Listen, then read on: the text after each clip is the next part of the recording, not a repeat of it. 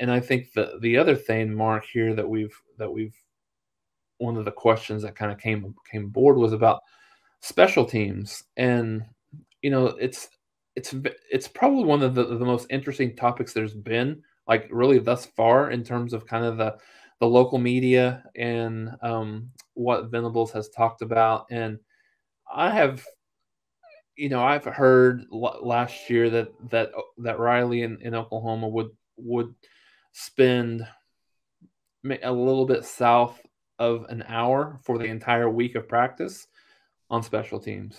And and i think so that was kind of anecdotally through some some people that i that i feel pretty comfortable um comfortable with. And then and then even billy bowman had talked about this week and, and you know he's one of the three guys that have been kind of returning punts in practice and and talked talked a lot about the fact that they really weren't allowed to return punts or kicks unless they just absolutely needed it. They absolutely needed it um, because Oklahoma between punts and kickoffs, I think Oklahoma had a total of 22, 24 actual returns.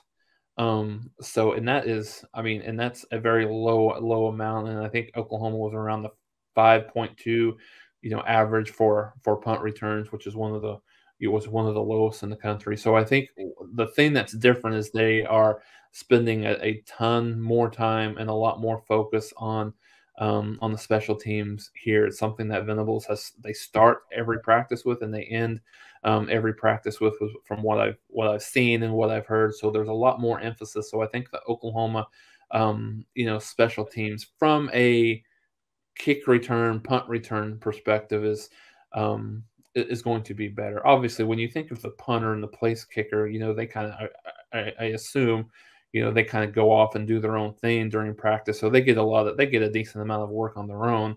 Um, now, where it was probably um, negligible was obviously on the kind of the team special teams drills. It's interesting what has happened with special teams in modern day football. So you've got the rugby punter has come into play here. Probably we saw our first rugby punters maybe 10 or 12 years ago. And now, I don't know, a third of the teams, half the teams. And, and you can see when they're effective why you would want to do that. Um, then you also see because the return game in the kicking game kickoffs in particular has been negated to a certain extent, not completely wiped out or eliminated, but it's been negated by number one, kickers just being better to be able to reach the end zone and kick the ball out of bounds and kick it out of the end zone.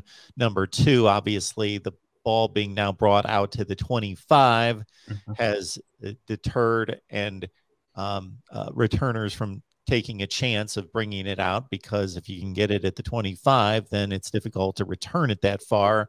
Number three, now with this rule that's been in play, what about three years that regardless of where you ca- I can't stand this rule, but wherever you catch the kickoff inside the 25, you get it at the 25. Right. I hate rules that play with and go against the the structure of the game. The structure of the game is all about you advance the ball and you receive the ball, and that's where you get the ball. And to artificially get it at the 25 when you caught it at the 13, it doesn't make any sense. Now, the end zone's treated differently. The ball goes into the end zone, it's a touchback all those things we understand how the end zone is treated differently than the rest of the field of play. But to catch the ball at the 12 yard line and to get it out at the 25, that's artificial to me. But anyway, that's mm. what the rule is. So that's a reduced kickoff returns as well. So you've seen a lot of teams more so than in the past take this approach that we want to play good coverage, of course. We don't want to allow added yardage on the return units for the other teams. But in terms of our returns, let's secure the ball. Let's just secure the ball. And hey, if somebody breaks one for 25 yards, great. But let's just make sure we secure the ball, don't turn it over, and we'll go from there with the offense, especially with field position still being very critical to the game. It's still important, but maybe I shouldn't use the word critical. Maybe it was critical at another time in college football history when offense wasn't so prolific. Doesn't seem like uh, a prolific offense now minds getting the ball at their own eight yard line. It's not preferable, of course. You've got to do more work, and they it, it, it leads to opportunity for more mistakes having to drive at 92 yards for a touchdown. But they don't seem to be bothered. If you have a strong offense, hey, give us the ball. We'll operate from any position on the field. Now, the one or two yard line may be a different case, but with a little bit of room, we're fine we're going to operate the offense. So I don't think field positions as critical as it used to be. It's still important, uh, but you see more teams just with this mindset of secure the football on the return and we'll start the offense. Yeah, no, you're absolutely right. I think that's um, that that rule that you mentioned has been a big game changer in terms of the the kickoff return and the kickoff game.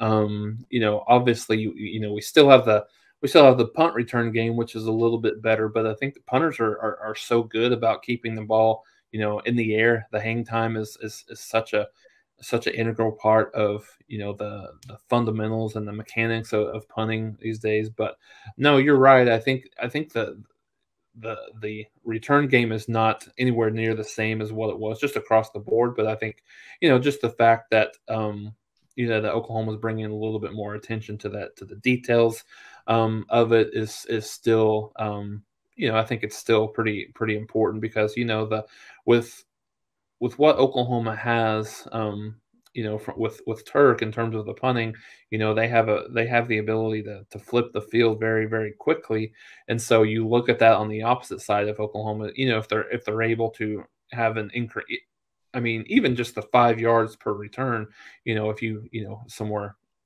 double that or if you're you know at least seven or eight yards i think it puts you in a better position but i think it's just overall the kind of the the attention to to the details that i think has sparked you know, kind of Oklahoma fans and what maybe hasn't been done versus what is is going to be done. And and I think there's a lot of people that are so far, I think, just very enamored probably not the right word, but maybe a little bit surprised at how much of a stickler on all of the details Venables has been so far for a guy that's a first time head coach